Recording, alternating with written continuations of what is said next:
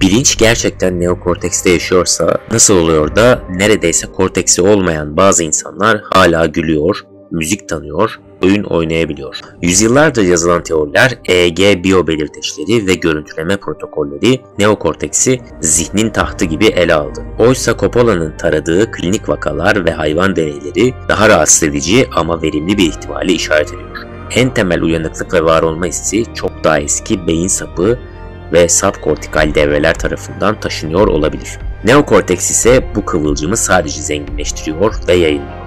Korteksin büyük kısmı olmayan bireyler bakım verme, oyun oynama, basit öğrenme gibi davranışları sürdürebilirken beyin sapındaki küçük hasarlar tüm görünür farkındalığı silebiliyor. Kardiyak arrest sırasında ve sonrasında kaydedilen kısa süreli organize gama dalgası patlamaları da korteks çökerken bile derindeki devrelerin karmaşık dinamikler üretebildiğini düşündürüyor.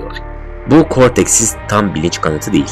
En ham raporlanamayan deneyimin sandığımız kadar yeni evrimleşmiş yapılara bağlı olmadığını ima ediyor.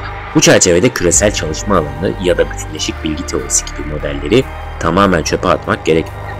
Belki de bu çerçeveler bilincin nerede doğduğunu değil, mevcut içeriğin neokorteks tarafından nasıl yükseltilip ağ genelinde paylaştırıldığını tarif ediyor. Eğer minimal bilinç için gerçekten daha az yapı gerekiyorsa, koma ve vejetatif durum tanılarında sadece kortikal işaretlere bakmak ciddi bir kör nokta olabilir. Tanı hatalarının bugün bile %20-30 bandında raporlandığını düşünürsek, beyin sapı ve cerebellumu hedefleyen yeni biyobelirteçler, kapalı görünen bazı hastaların aslında bir şeyler hissedip hissetmediği sorusunu yeniden açabilir. Mühendislik tarafından da tablo değişiyor.